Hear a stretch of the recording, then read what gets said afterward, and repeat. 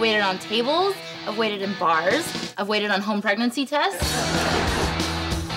Do you know the president? I've met him. Have you been to Switzerland? Yes. Do you have a horse? Yes. Do you know Paris Hilton? No, she's a hundred.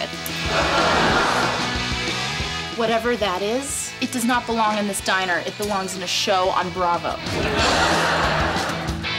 We split the tips. Give me yours.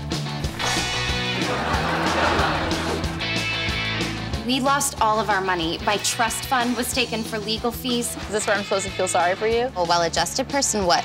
I'm good inside. you make that pretty obvious.